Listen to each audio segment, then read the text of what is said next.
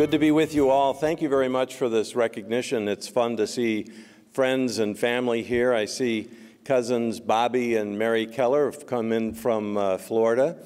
He was a golf pro, tried to teach me golf many years ago, and I gave it up frequently.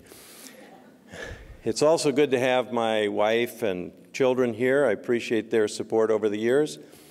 And I see a couple of classmates from 65. I don't know if Don Mark is here. I thought he was going to be here, and I know that uh, Jerry Marquardt and Dan Austin are here. They're probably more surprised than my wife that I'm getting this recognition, but it's great to be with you. And Dan and Jerry, it's great that we're not in a nursing home yet. So thank you very much for this uh, recognition. Uh, I won't go through a long litany of all the many people that uh, influenced me, starting with some of the great teachers here at Minnetonka High. I will acknowledge now that it's conflicted to be older because now we've got a son that lives in Eden Prairie with two kids that are very active in the sports program in Eden Prairie.